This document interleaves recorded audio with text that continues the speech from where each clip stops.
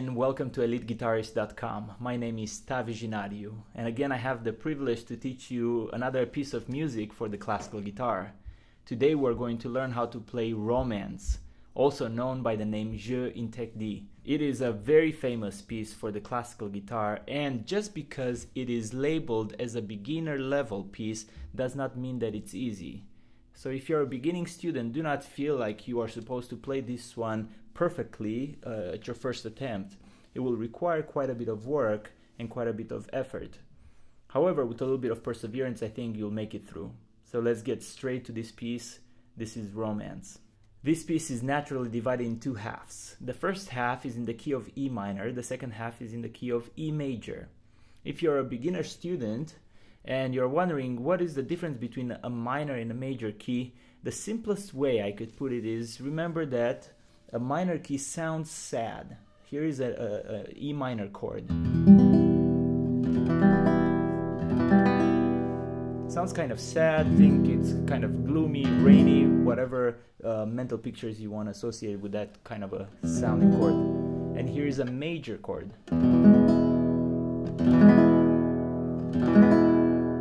So that's a happy sounding chord. So the first half of the piece is in the key of E minor and let's get straight to it. Before you actually start playing this, this piece and, and incorporating left hand notes with right hand articulation, uh, let's focus for a moment on the right hand. The right hand will play a repetitive finger picking pattern throughout the entire piece and this is a, a version of an arpeggio. And the way we play this arpeggio is by plucking together the first and the sixth string we're going to pluck E and E together. For the high E string, we're going to pluck that with the A finger.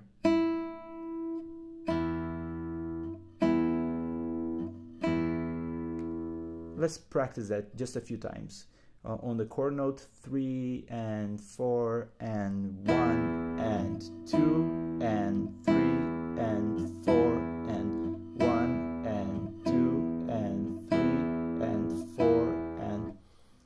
make sure that you're very relaxed as you pluck those notes. You should not have a claw like position on your right hand and you should not pull the strings from underneath outward but we should press the bass string downward and we should pluck upward as you would play a harp with the A finger. Okay, after you become comfortable with that motion, we're going to follow up with two other notes played with the M and the I finger. The M will pluck the second open string B, and the I finger will pluck the third string, which is the G string. So let's try this.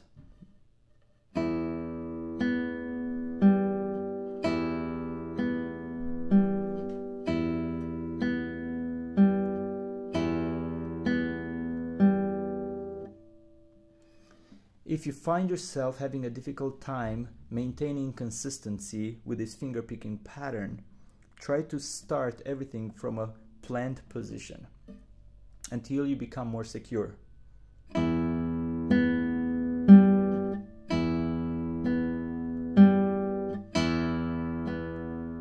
So plant, pluck together, the M finger and then the I finger.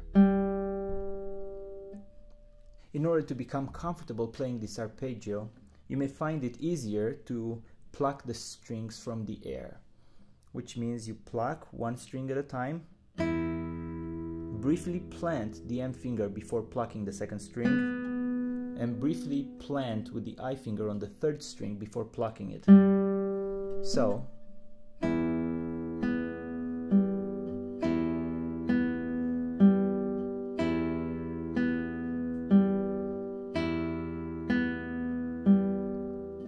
want to pause this video and actually practice just that finger picking pattern.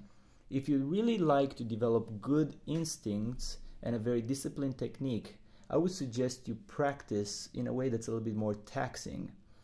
And uh, I would encourage you to basically plant all the fingers on each string and then discipline them to play the notes one at a time. So P and A together first, followed by M, and then I, then plant all fingers once again. P and A together, M and I.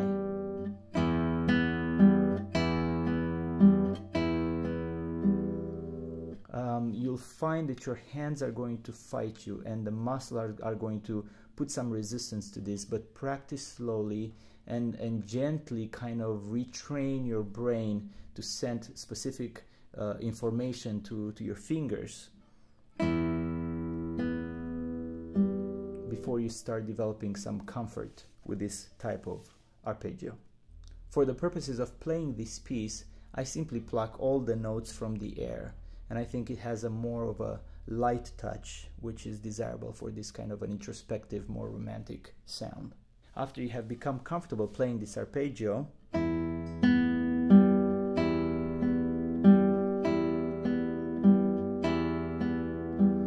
may want to start emphasizing the note played with the A finger. That finger is going to pluck the melody note all the other notes are going to be accompaniment, the notes played with the M and the I finger. But the notes played with the A finger are going to be the melody notes. And so you may want to really emphasize that A sound.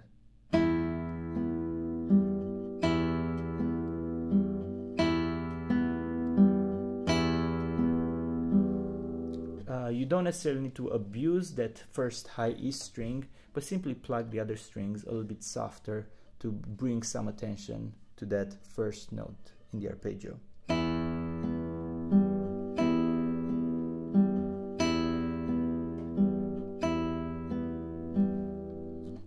So now let's put together the left and the right hand. And we're going to begin by placing the fourth finger on a B note. And this B note is found on the first string, the seventh fret we're going to place the fourth finger right next to the fret in order to ensure we get that crystal-like sound. And now we're going to play the open second string, B, and then the third open string G. So E and B together.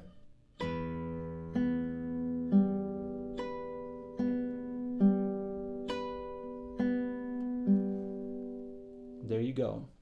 So the low E note only gets attached to that high B note the first time through the arpeggio. And then the two subsequent times are going to be just the first three string without the bass note. So it should sound something like this.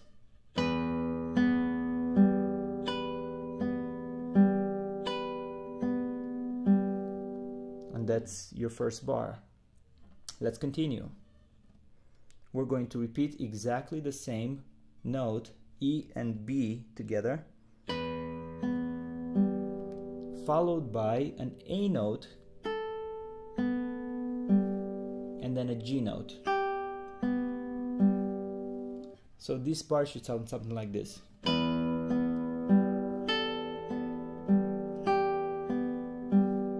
Alright, so let's slow this down just a little bit to figure out what kind of notes these are. So we're going to play again E and high B together, followed by the second and third string. And then we're going to play an A note with the second finger on the first string, fifth fret. So A, followed by second and third string, open string. And then we're going to play a G note followed by the second and the third open string. The G note is played with the first finger on the first string, third fret. So, and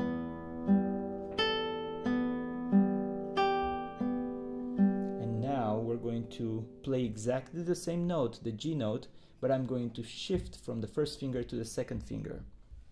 And I'm going to attach that high G note to the low sixth string E. F sharp and E. So G, F sharp played with the first finger on the first string second fret, followed by the second and third string, and then open string E. So let's review up to this point in time, starting with the high B note on the 7th fret. Here we go.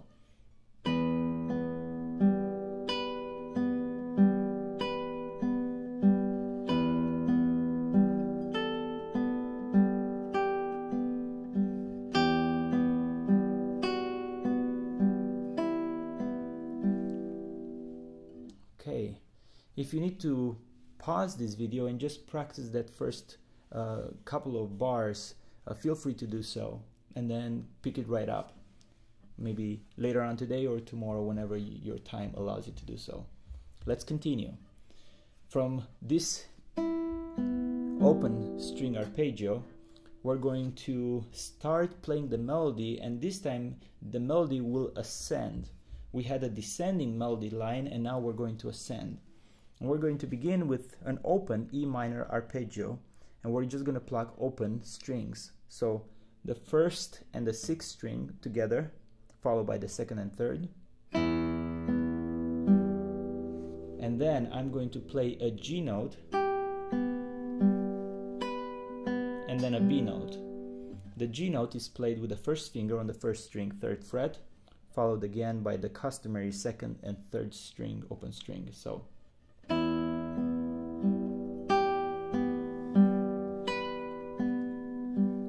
this B note, you're familiar with it, is played with the fourth finger on the first string, seventh fret.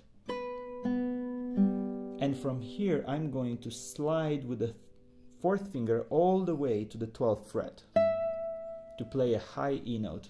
So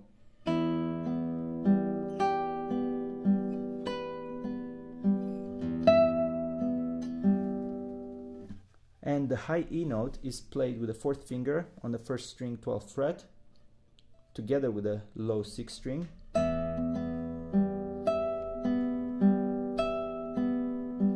Again.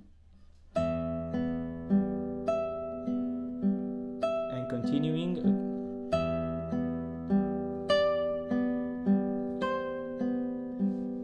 And the notes here are E, D and C.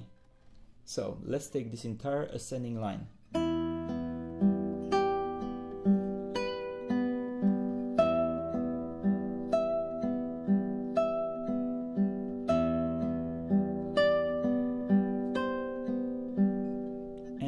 Going to continue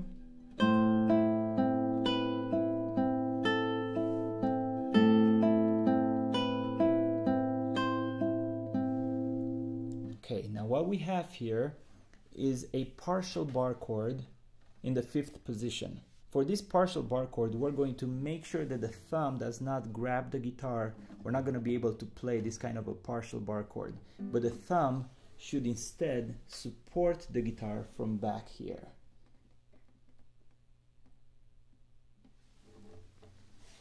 So let's go to this fifth position chord. The first finger will lay uh, flat pressing three out of the six strings and the fourth finger will play a C note on the first string, 8th fret.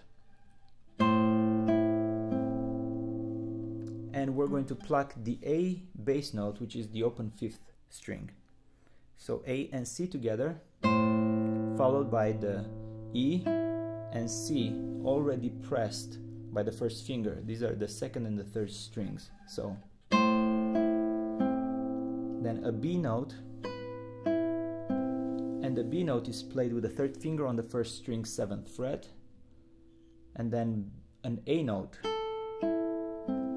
The A note is pressed by this partial bar chord, and so we're going to press three strings on the fifth fret and pluck them in the order 1, 2, and 3 with A, M, I. Then we're going to play A and A together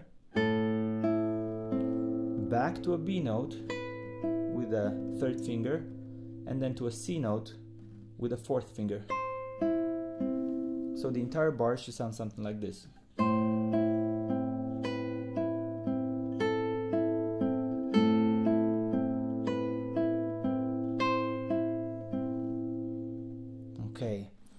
Find that uh, this bar chord, this partial bar chord, is fairly taxing, um, feel free to, to give it a little bit of a rest. You don't want to be so intense and really put so much strain on this muscle on the palm of your hand. Uh, you should feel a little bit of discomfort and it should be a stretching experience but when it becomes painful pay attention to those pain signals that is your body telling you that uh, this is pushing it too hard and so stretch the muscle a little bit uh, embrace the resistance of that chord but don't really um, abuse that muscle and and uh, and strain it and, and become overly tired and exhausted in pressing this chord after playing this chord on the fifth fret, we're going to move to the seventh position. This is just a fancy term to say that the first finger will hover over the seventh fret. That's what it actually means. So.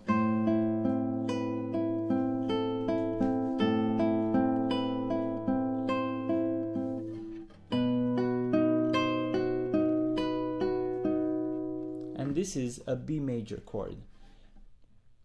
And we're going to put the first finger over the 7th fret pressing all 6 strings. You may want to experiment with the elevation of this first finger. Some players put the, the finger so low that the tip of the finger barely touches the 6th string. If that works for you and you're able to get a very crystal-like sound, a very clear sound, that's fine.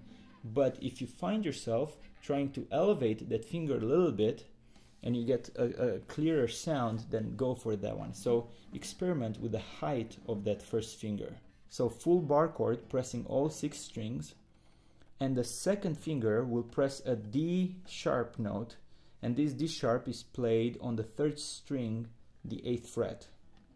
And we're going to pluck again the same, B and B together, first and sixth string, if uh, this is the first time you're playing a bar chord, you're probably going to have a hard time making that second string ring out. It may sound something like this, a little bit buzzed and, uh, and a little bit noisy, but that's okay. You'll get stronger over the next couple of weeks. So, and then we're going to play a C natural note and then back to B. This C note is played with the third finger on the first string, 8th fret. So. And we're going to make it even more challenging now, playing a B and a D sharp together. And this is going to be quite a bit of a stretch. The D sharp is played with the fourth finger on the first string, 11th fret. Back to C and then back to B. The B note, of course, is already pressed on the first string 7th fret by this bar chord. So,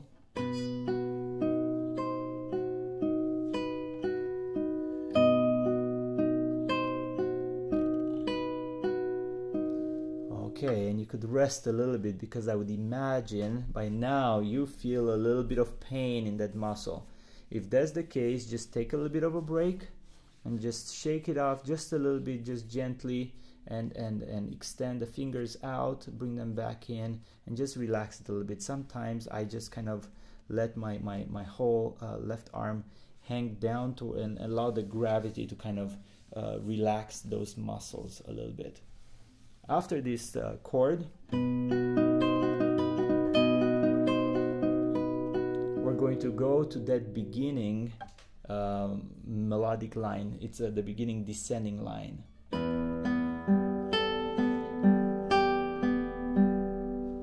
So we're going to play a low sixth string E note and a B on the first string with a fourth finger on the seventh fret. Again followed by the open second and third string.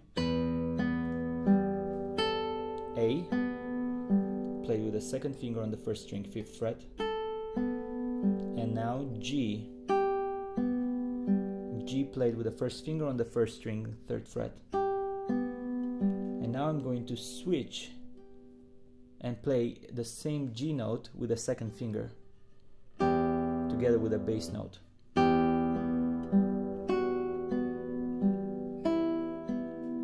So this is G, F sharp, and then open high E string. So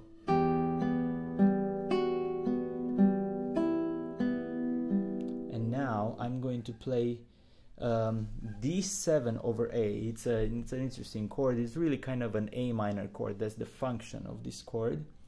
To play this chord, we're going to place the fourth finger on the first string on an F sharp note. This is on the second fret. We're going to play a C note with the first finger on the second string, first fret, and an A note with the third finger on the third string, second fret and we're going to pluck the fifth string in the bass. So A and F sharp together followed by C and A.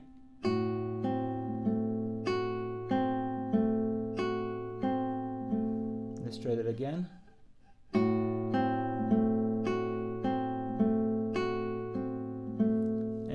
Here I'm going to keep the third and the fourth finger as anchor fingers and take the second finger and place it on a B note. This is on the fifth string, second fret. And I'm going to plug the same fifth string and first string, so B and F sharp, followed by open second string, B, and then an A note played with a third finger on the third string. So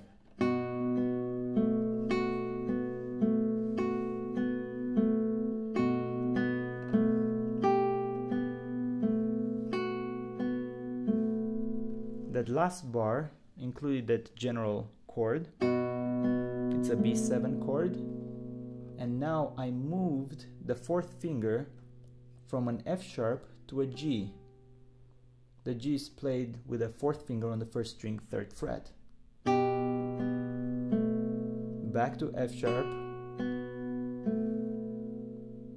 So let's take it in context from that A minor chord with an F sharp added.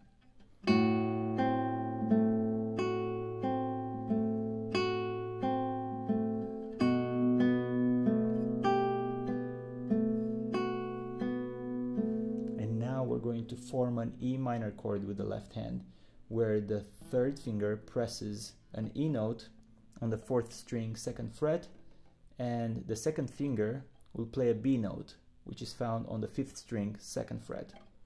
We're going to pluck, first of all, that E note played on the fourth string. We're going to play that uh, simultaneously with the first string, high E. Try that. Then we're going to play the fifth string, which is that B note, together with high E. And now I'm going to play a G natural note in the bass. And this G note is played with the fourth finger on the sixth string, third fret. And then a strum. That's an E minor chord. Let's review just that part and you're almost done with this first section.